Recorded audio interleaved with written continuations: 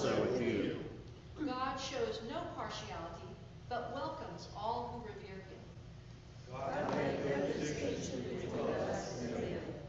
There is none for us to consider unclean. God loved the entire world, not some of us in particular. There is but one God and one mediator between God and humanity. Let none of us think too highly of ourselves. This way of thinking that you found in Christ Jesus. He came not to be served, but to serve as ransom for all. We pray. Lord, we are all your creation. You have rejoiced in each one of us. You have loved us, one and all. You came in Christ Jesus to redeem all of humanity, charging each of us your emissaries. Together, we are your hands and feet. Through all of us, your breath and presence moves and makes you known. It is corporately that we best reflect your fullness, for none of us can represent you alone. We all depend upon you, for none of us is worthy because of our birth, our attributes, our actions, or our attitudes. You alone are worthy, yet have, have deemed us all loved without exception. Grant that we might see one another as you have seen us. May we respect your love as we look upon one another, extending your grace to all we encounter, no exceptions. Amen. And in your blue hymnal, you will find our first hymn on page five, uh, number 577, God of grace and God of glory.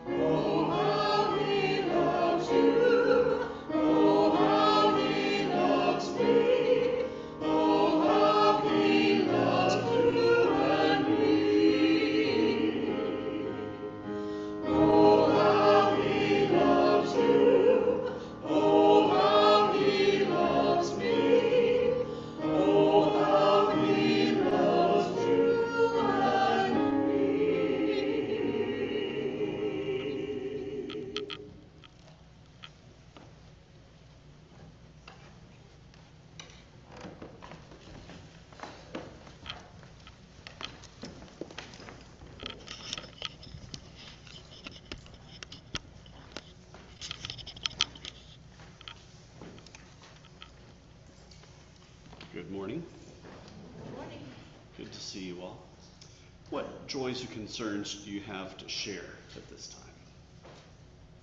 Mine is kind of both. It's a joy because I'm going to the beach. And it's a concern because it's the anniversary of Bucky's death and it's gonna be a, a difficult time for us, me and my boys, that we're going to a car show. We're gonna show off his pride and joy, his little green truck and Scott's little blue truck that they built together and, and we're just gonna go down there in his honor. So, be a prayer for us as we do this. Pray for Denise as she heads to the beach with her, her sons and their families uh, to celebrate a time together on the beach, going to a, to a car show in Bucky's memory, but also as they reflect on uh, this uh, week being his um, anniversary of his death. So pray for them. Patricia? Yes, uh, Pat Shine, Ireland, and their children, please keep them in prayer, they're going through a difficult time right now. I'm sorry, who was that? Pat? Patrick, my son Shine, Ireland, and their children. Patrick, Ireland Ireland, and their children. and children. Okay. Thank you. Pray for Patrick, Ireland, and their children. Okay. Others? Um, uh, Keep Barbara Wilson in prayer. She is having cataract surgery, first one on Friday, and uh, it's a, a- a concern for her. Um, Also, I'd like you uh, to lift up um, former coworker of mine, Julie, who is is struggled through all kinds of things, but particularly uh, with housing for her right now. It's that she will find someplace she can afford for Julie. Okay. Pray for Barbara Wilson, who will be having cataract surgery uh, this Friday, and for Julie, uh, she's struggling especially with housing right now. Any others? I always feel really funny bringing up my cat in that situation, but, um, took the cat to the oncologist this past week and basically, we're gonna end up with palliative care because the other is just outrageously expensive for little chance. Um, but the cat has basically two more months left, um, with palliative care is what they, they say. And Jonathan is not taking it well. None of us are, but Jonathan in particular has a really hard time with, with this kind of thing. So pray extra for all of us, but, but more for him, really, and and being able to handle this. So Hasha is uh, being diagnosed with, with cancer, and um, the vet gave us uh, two to four months as a um, possibility for him to survive. And Jonathan is, in particularly, not taking this very well. So if you would be praying for him. Any others? Pray for Kay Knight, she is a little carrier in Wingate. Uh, she's already had several surgeries, but they, and she's, um, had gallbladder kidneys removed, but she's only got one kidney and they've got cancer on it, so she's, uh, she's got two spots of cancer that they're looking at, one is operable, one is not. We're gonna try to remove the one that is operable and then treat it with chemo to hopefully kill the other one. But. She's gonna go through a really rough time, so her. Knight. Kay Knight, one of our rural mail carriers here in Wingate, um, diagnosed with cancer in her only kidney. So they'll be doing surgery to remove one uh, spot, and the other is inoperable, so be treating with chemo. Being prayer for her. Any others?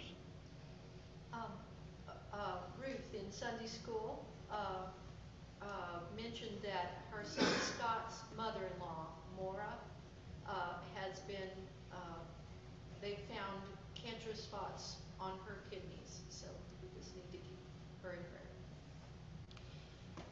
Um, Ruth's um, son's mother-in-law, Maura, um, has, also has cancer in her kidney, so pray for her.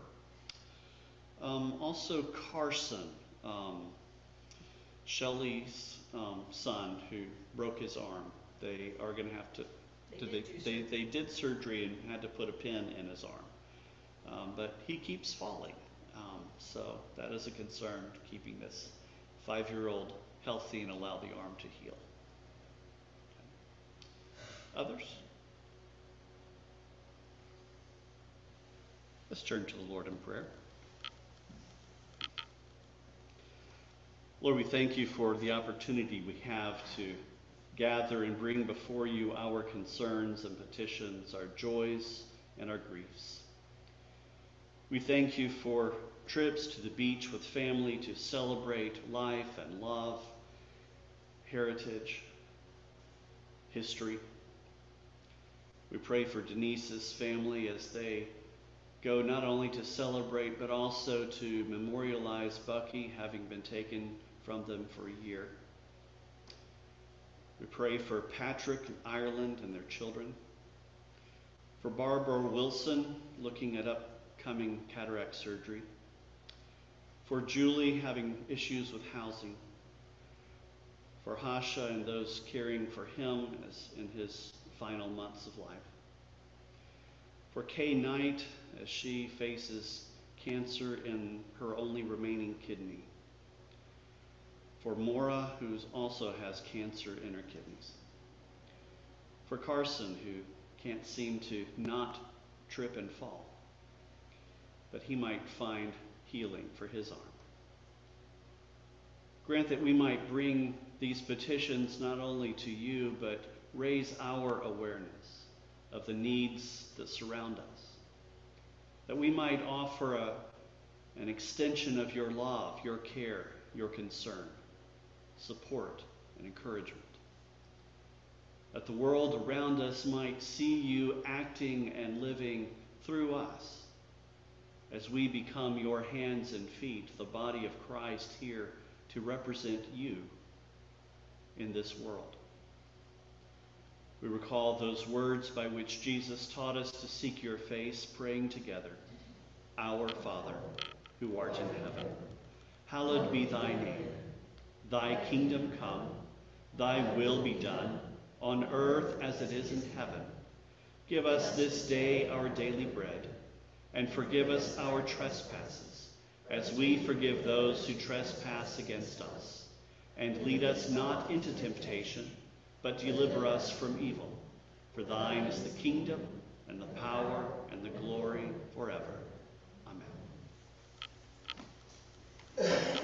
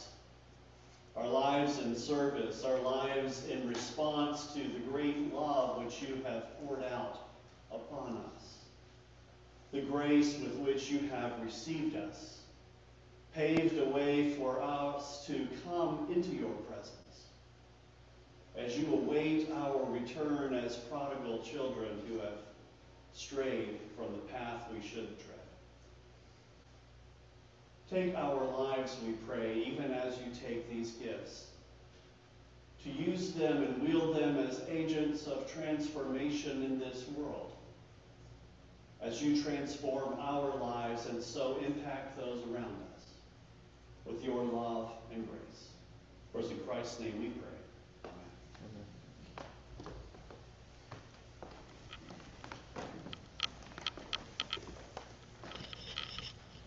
Okay, now let's pray. Uh, if you'll turn in your hymnal to number eight eighty-three. And we'll affirm our faith by reading the statement of faith of the United Church of Canada together. We are not alone. We live in God's world. We believe in God, who has created and is creating, who has come in Jesus, the Word made flesh, to reconcile and make new, who works in us and others by the Spirit. We trust in God. We are called to be the church, to celebrate God's presence, to love and serve others, to seek justice and resist evil, to proclaim Jesus crucified and risen, our judge and our hope. In life, in death, in life beyond death, God is with us. We are not alone. Thanks be to God.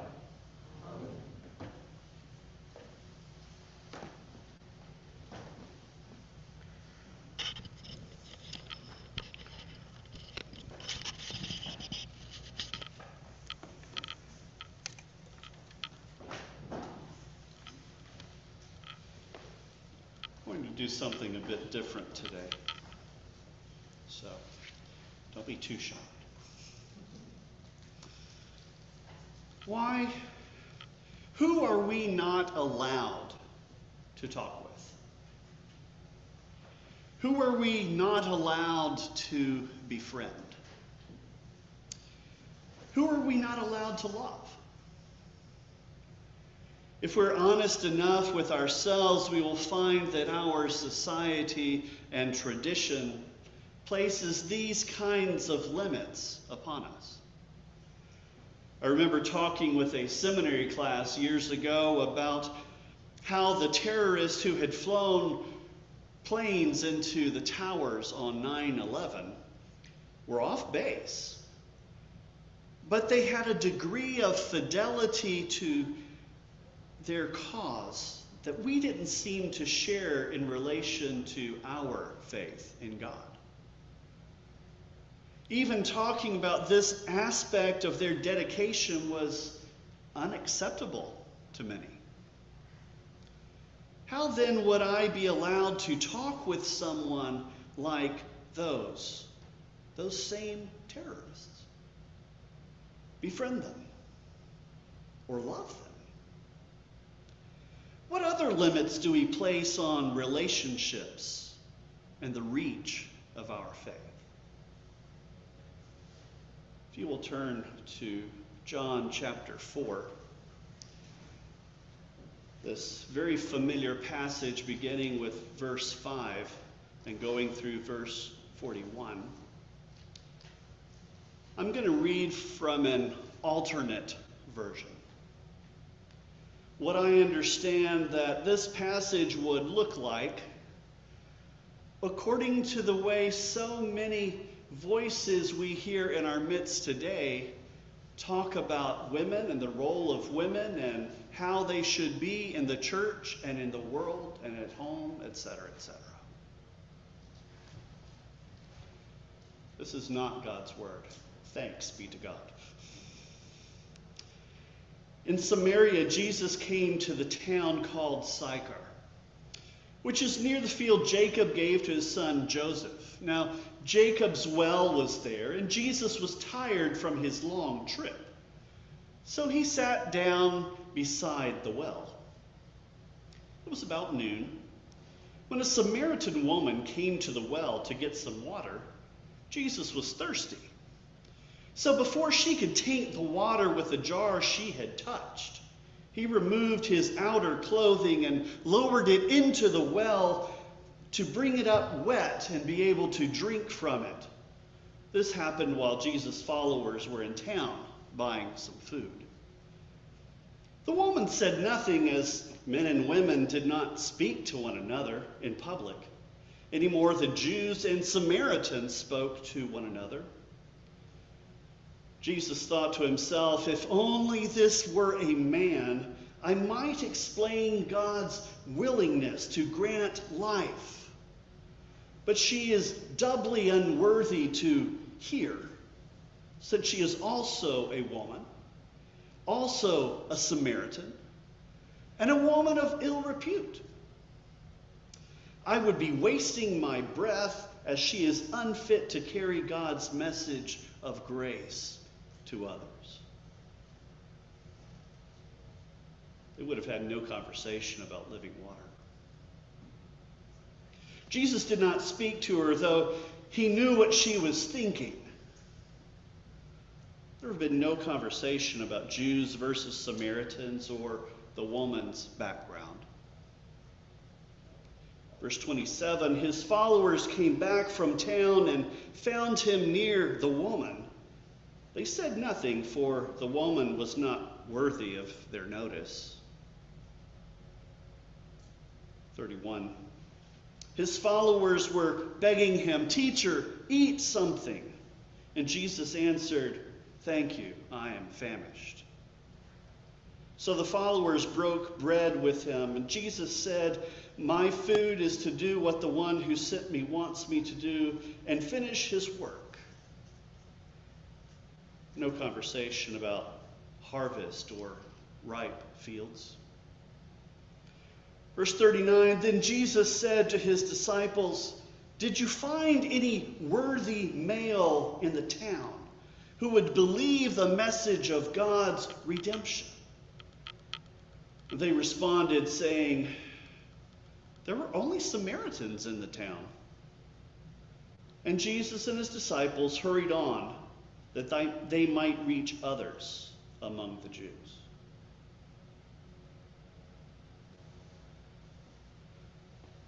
That's not quite the version I've read in my Bible. I'm sure it's not quite the version that you grew up hearing. But that's just about what John chapter 4 would have to sound like if we listen to so many voices trying to, quote, put women in their place, to silence them in church because of a couple of verses taken out of context in Paul's writings. If Jesus followed the line of those voices, we wouldn't have John chapter 4. John 4 would not have happened. Jesus would never have gone through Samaria in the first place because there would be no one worthy enough on which to waste his time. That's a bit different from the story we grew up with, isn't it? I don't imagine you've ever seen a similar edition of John chapter 4. It's not in any of the myriad textual variants that we have of ancient papyri or vellum texts. Those variations are minor things like the spelling of a word or switching one homophone for another. There may be an occasional gloss or an explanation inserted into the text, such as, remember, Jews and Samaritans didn't speak to one another.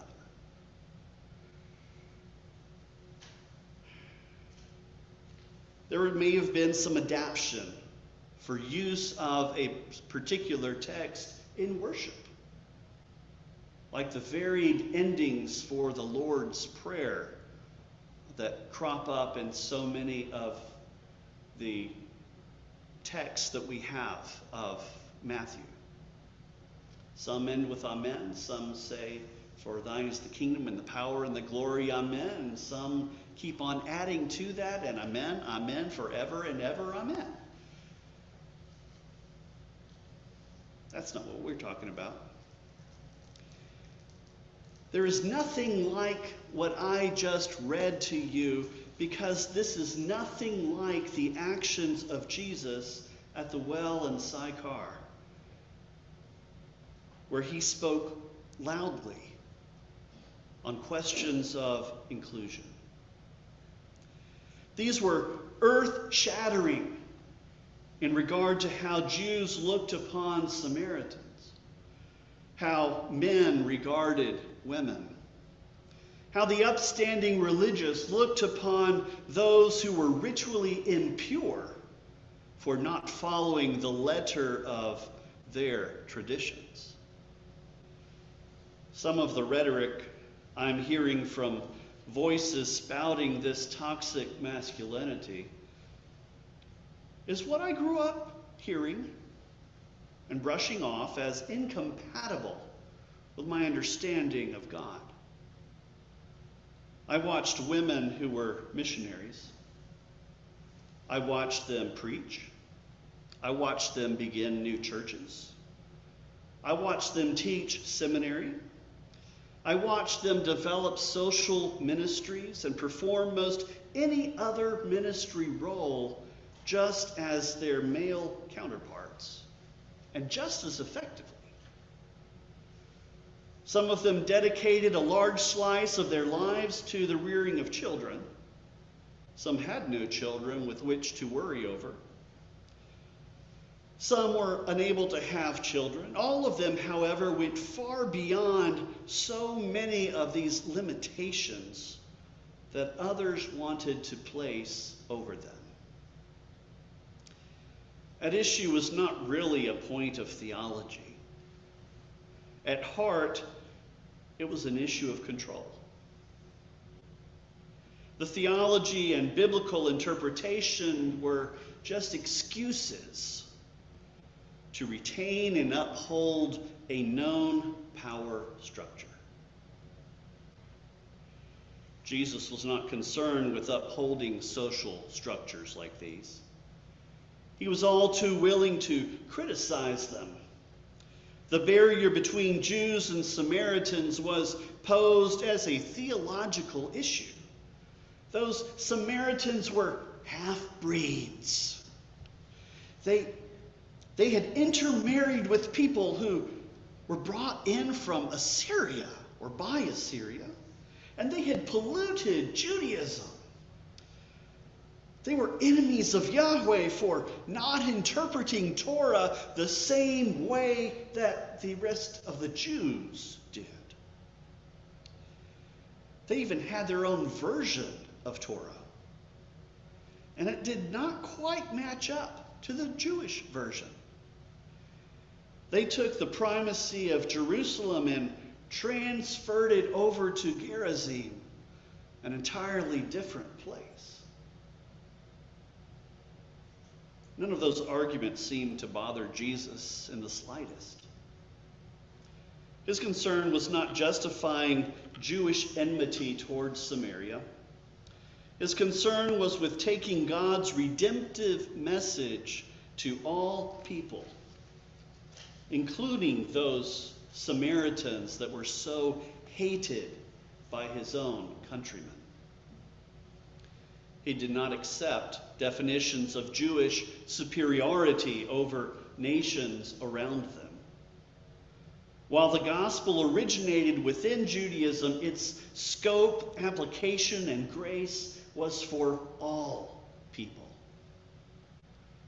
regardless of national, ethnic, racial heritage, or gender. Jesus ignored taboos against men and women speaking in public. This was not only a Jewish issue, it was a taboo that extended into Samaria and far beyond. Its purpose was, in part at least, to protect and project an appearance of morality. It was as much a religious taboo as it was a social. It was to keep men safe from accusations of impropriety. Men safe, note. It protected men from being accused of taking what was understood as belonging to another man. Jesus brushed aside social, cultural, and religious rationale as equally irrelevant.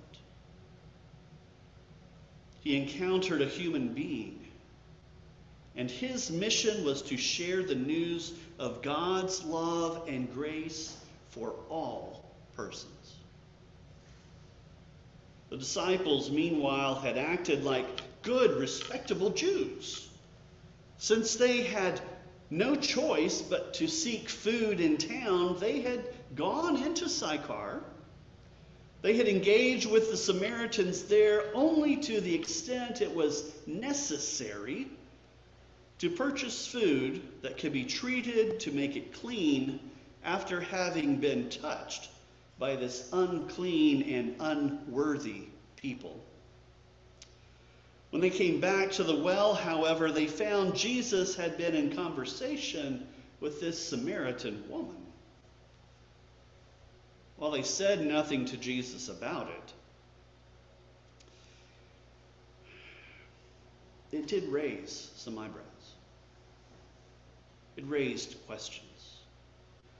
There was no acceptable reason for Jesus to have been talking with this woman, especially.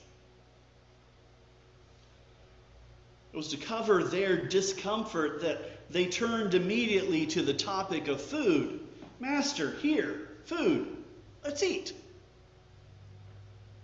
As the woman scurried away, they could try to ignore how Jesus had trampled on all these rules of impropriety.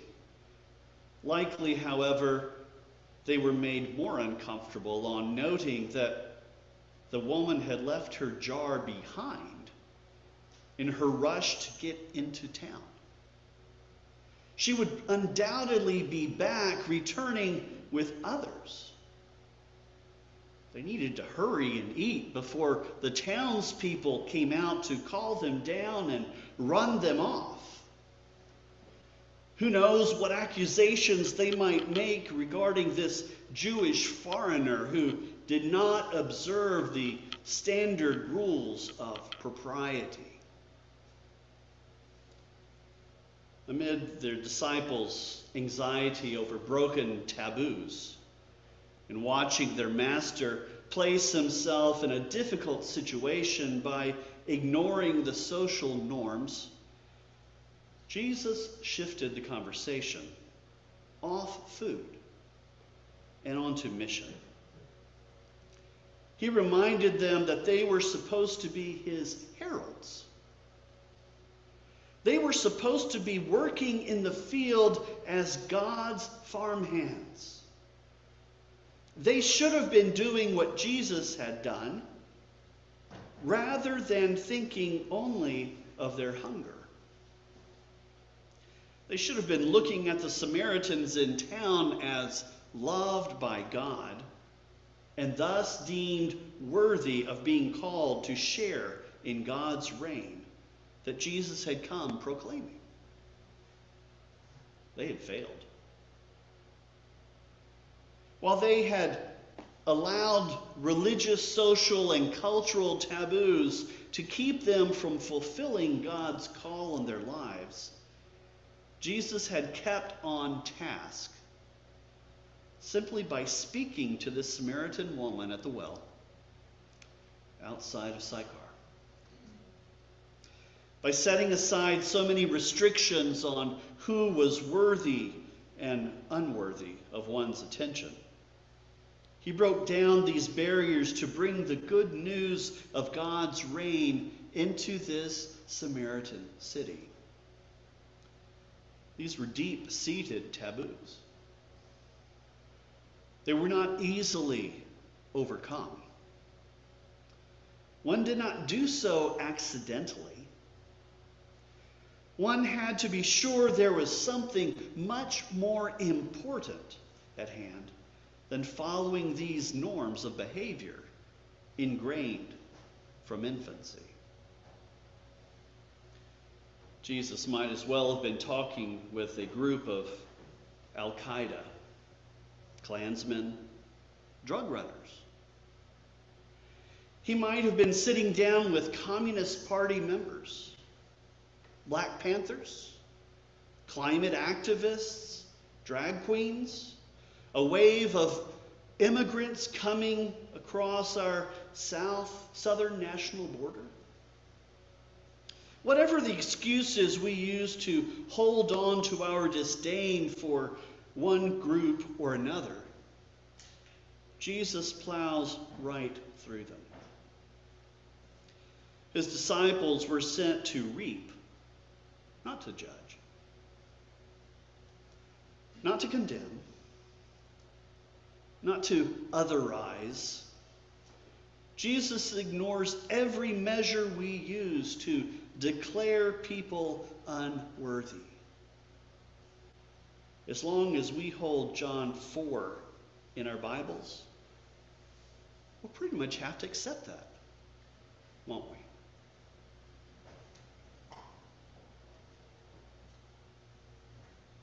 Who do we still consider unworthy of our interaction, our care, our friendship, our love? Whoever it is, God has already loved them.